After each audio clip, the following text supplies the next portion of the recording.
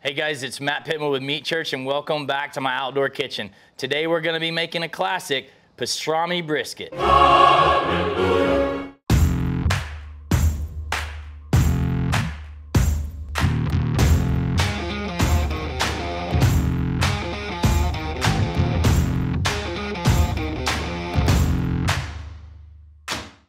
So today we're gonna be taking a classic in pastrami and putting our Texas barbecue twist on it. It's gonna be really simple. We're gonna make a pastrami brine that we're gonna submerge a brisket in that we've already trimmed and we're gonna let it soak in that brine for 10 days and then we're gonna smoke it.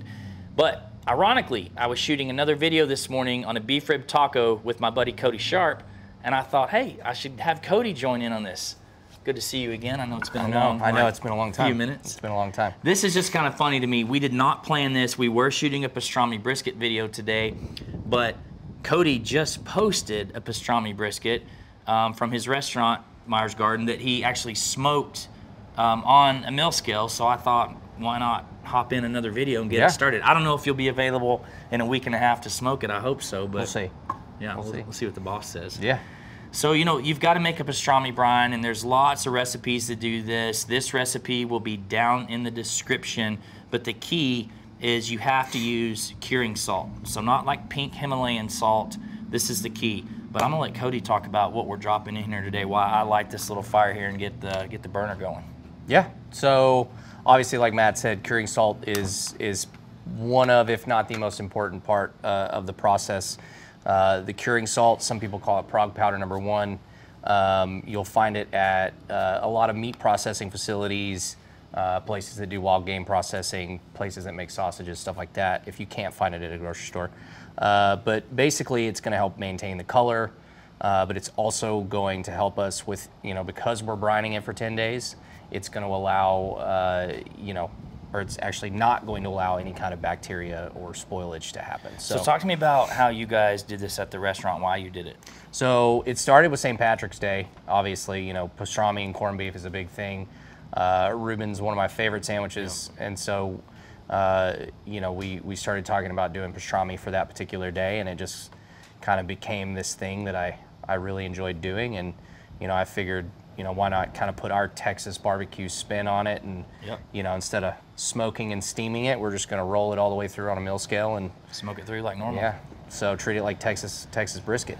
All right. So- here we go. Kosher salt, you got Got about a cup and a half of kosher salt. You're going into a gallon of water. One gallon of water, which by the way, it's gonna take more than a gallon to submerge this brisket, but we don't have a three gallon pot, so we're gonna add a little more water later, so that's key. And then, of course, you got uh, one cup of brown sugar. Uh, you can use regular granulated sugar. I like brown sugar because it kind of adds a little bit more character. It's got those kind of caramel notes to it. Uh, and then we use pickling spice. So there's a lot of recipes out there. You know, you can use all the separate spices and you know toast them and do all the things. But I've found that just using a, a classic pickling spice works just as well. Uh, and then some uh, minced garlic. You can use whole garlic cloves if you got that in your refrigerator at home.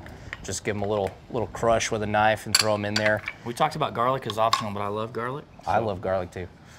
And then of course your your curing salt, and uh, we're just gonna bring it to a boil and about two tablespoons of that. let it uh, let it all dissolve, and then we're gonna add some more water and dump it over our There we brisket. go. So we're gonna heat this up. It doesn't have to come completely to a boil, but we wanna dissolve those sugars in here. So we're gonna be stirring this, heating it up, and then we're gonna cool it all the way down, just like when you do a brine at the holidays. Uh, we don't wanna pour hot liquid over a cold brisket.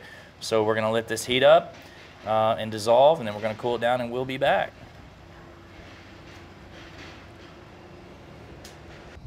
All right, guys, so we have actually cooled this off by adding a little ice to it to speed it up. We've got a brisket here. This brisket actually came from a barbecue school I did this last weekend. Um, I trimmed it for the class. I'll put a link here or a card up above um, for my how to trim a brisket video, but this is just a prime packer brisket. Started out at 17 pounds. I took out at least three to four pounds for sure. So um, I cooked mine fat side up. That's why I'm showing you this side, but also, this one came with a huge gash in it. So we're going to put this in this food safe container. And then let's dump this over.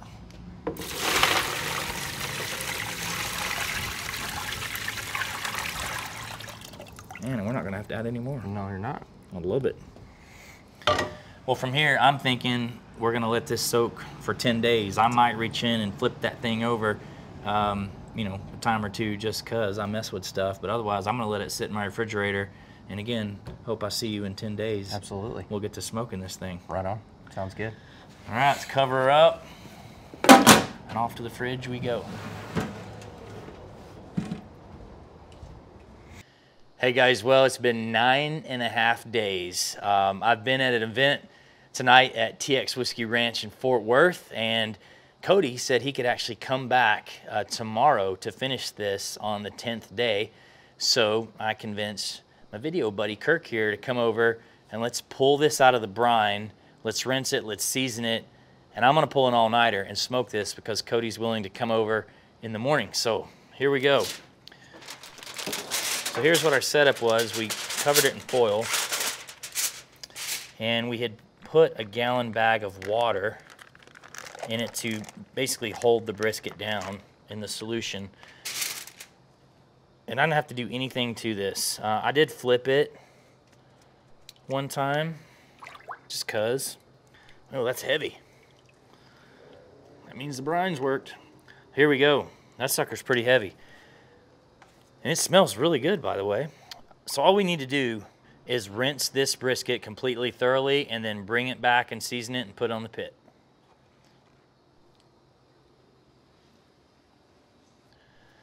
All right, the brisket's totally rinsed off. Super important. Otherwise, you're going to have all this salt on here. It's going to be way too salty. So like I said, just rinsed it very thoroughly. Now I'm going to hit it with a slather. Optional, like I always say. Um, I'm going with a mustard slather really common in Texas barbecue, and heck, mustard goes with pastrami.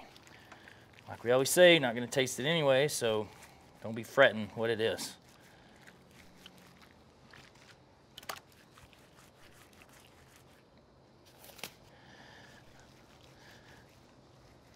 All right. Got her nice and slathered up. There, you remember that old gash they'd left us? Thanks, thanks again. All right. So let's talk about our seasoning here.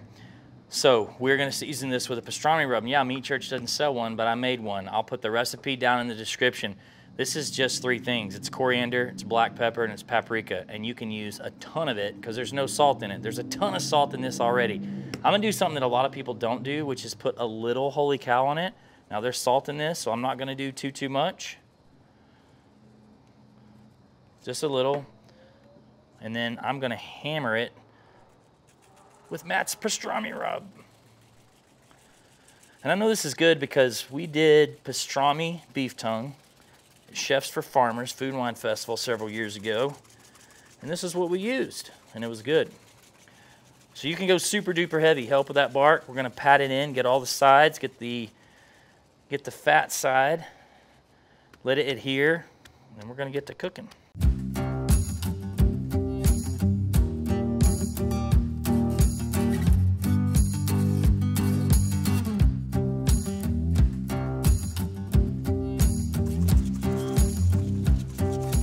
Think this is what you would call a liberal coating of seasoning.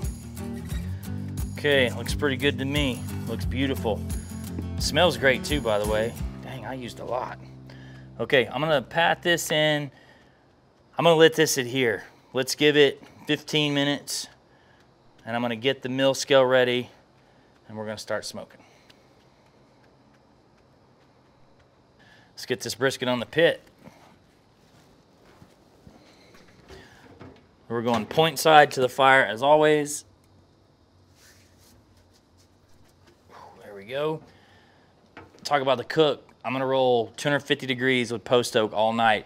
I'm a nice guy, so I'm gonna send my video crew home. So the only thing I'm gonna do is I'm gonna wrap this brisket at some point. I'll talk to y'all about that when I see you back in the morning. We're gonna be shooting to, you know, standard cook. We're gonna cook this to 203 to 205 or so. Uh, probably not going to be real probe tender because of all that brine that's inside of it. Um, so that's what we're shooting for, and I'll see y'all in the morning. Good morning, y'all. Look who I found. Oh, Cody made it back this morning. I slept in the car actually. I was I've been here since yesterday. well, I've been here with my monster since last night. Well, the brisket is done. Uh, let me grab that and we can talk about it. So like I told you guys, I would, you know, cook it my uh, normal way, which is basically I just let it roll at 250 till it hit in the 170s, and then I wrapped it in butcher paper. At which point I ran the mill scale up to 275 degrees to help render out the fat and finish it up. Now the difference in this and a normal brisket that I would teach you is, you know, we can't do the normal fill stuff that you would do on this brisket because it's pretty dense Yeah. with all that brine in there. So we agreed that we would take this to about 205, um, and I'll just show you here with the with the Thermapen one. Yeah, that's kind of where we are, right in the middle of the flat. Well, it's exactly where we are, to be honest with you. And we're not going to open it up. Um, we're just going to let it rest. So I've got a hotel pan here, and I'd love to let this rest overnight, but we've agreed as a team that we will let it rest two hours at ambient temperature, which is really the minimum I would ever rest any brisket, and then we're going to go from there. Uh, but Cody's joined us, Yeah. and uh, we're gonna we're gonna end this thing with a Reuben. We both love Reubens, and he makes an amazing Russian dressing. So we thought, let me bust this table for you real quick, sir. Oh, I appreciate that. Table for one. so Cody, why don't you tell us? Let's talk about this amazing Myers Garden Russian dressing. That So, we, you know, as we talked about, we're both big fans of Reuben sandwiches. Um, you know, I think we've both been to the the, the great Katz Deli in, in New York and one in Houston as well. I've not been to that one. That Just New York. That one's great. Uh, but we wanted to do something that was, you know, a Russian dressing, but with a little bit of a Texas spin on it. So uh, we decided my to add some, some pickled jalapenos, which are one of my favorite things on the planet. And then, of course, you got the uh, the gold standard of mayonnaise, Dukes. And uh, So this instead of pickles, we're going pickled, Pickled jalapenos. yeah. So this is another one of those recipes.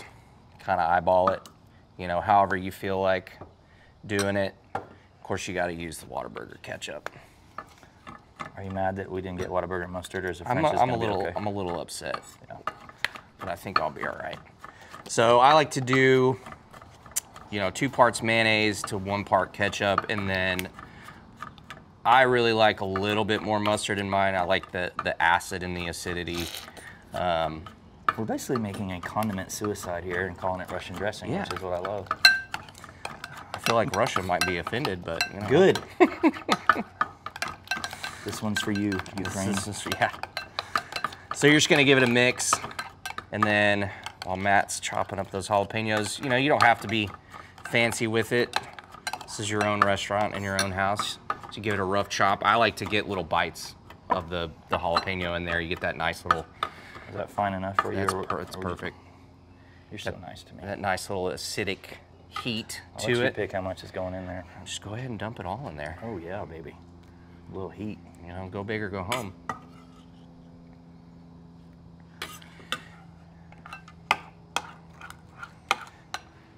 Texas. Because it is Texas, we're definitely going to add some holy cow, because why not? You don't need to add a lot. There's a lot of salt going on in this already, so you don't need to I'm add personally much. okay if you add a lot. we have refills available on meatchurch.com. And that's it. That's pretty much our, uh, our our non-traditional Russian dressing, just so I don't get roasted in the comments for not making. Well, like everybody can make this at home. You've got all these ingredients at home, so this is going to be super easy. Yeah. All right, guys, we are going to let the brisket rest for two hours. Uh, go put this in the fridge, and we'll see you in a little bit. All right, guys, this brisket has rested exactly two hours, and we've pretty much rested it down to 140. I just tested it, so let's just check here. Look at that. And that's just sitting outside, ambient temperature, not in a cooler or anything like that. Um, best brisket in the world, I'd actually like to rest this even longer in a warmer, but we're not I don't have waiting. time for that. No, we don't- we don't, we don't. But here we go. See how we did. Ooh. All right. Oh man, it's tender underneath. Well, it would help if I flip it on the right side after I just destroyed our bark. I thought that looked like a lot of, not a lot of good bark. See, you know, this is what uh, this is how you know it's real TV right here. Yeah. we don't fake anything at the meat church. All right, we're gonna go down here um, on the point end. Take a couple slices. Ooh. Hey. Thank God it worked. I know, right? There you go. I mean, you can see the, the color, the texture. Um, I mean, I know it's a small piece, but the cook. Um, heck, dude, let's get in here and try a bite of this. What am I doing? Whoop. Dealer's It's choice. killer.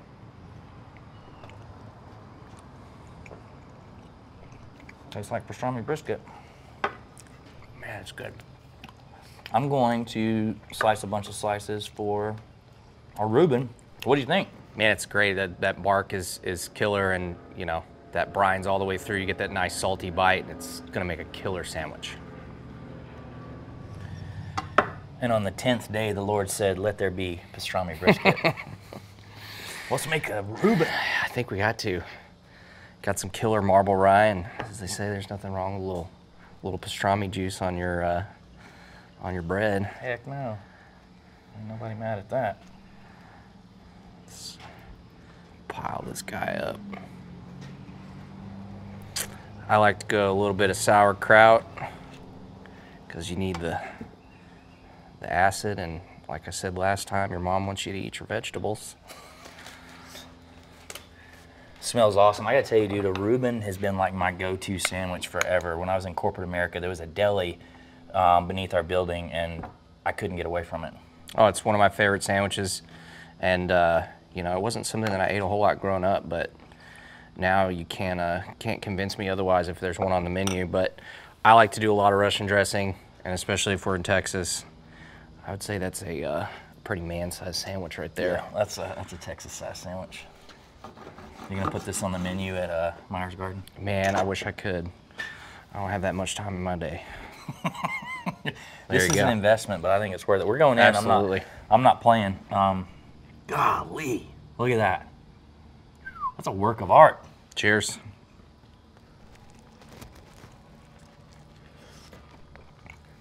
Dude. Game over. Need a towel? Mm. you dressing me. Dude, Not that's gonna- insane. I'm not gonna lie, it may be the best pastrami sandwich I've ever had. I'm, I'm gonna tell you that dressing. Let me see that towel. That is so good, and it's not hot. Like No. the pickled jalapenos, like that was super super. You get good. just the slightest amount of heat, but it's just really nice with the rub. Like it's kind of crazy how that rub and the coriander and the black pepper come through so much more in the sandwich itself. Like it's almost like the pastrami tastes more like pastrami. That's insane. If you made this on the weekends for friends and family, I'm gonna need a they nap tell you to open this. a restaurant. I mean, we got to go back to this. You know, this is obviously like different texture than a standard brisket. It's a lot more dense, but like still, I feel like I don't know. I'm just gonna say I think it was perfectly That's cooked. killer. Um, yeah, like crazy, crazy good.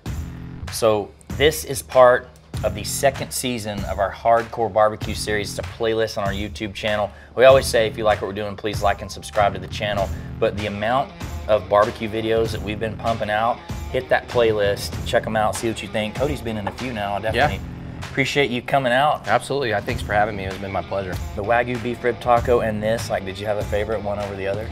Man, I'm not gonna lie. I think I like this pastrami sandwich more than This is insane. but I'm so stoked for this. So, It's gonna make some killer hash tomorrow. oh, so you come back tomorrow to make me breakfast? Yeah, I'll be here to make you breakfast. or sleeping on your car again. Yeah. All right, y'all. Thanks for watching. You guys uh, tune in every week. We drop weekly how-to cooking videos every Wednesday morning at 9 a.m. Central. All the recipes today down in the description. They're also always on meatchurch.com. Thanks for watching, and we'll see y'all next time.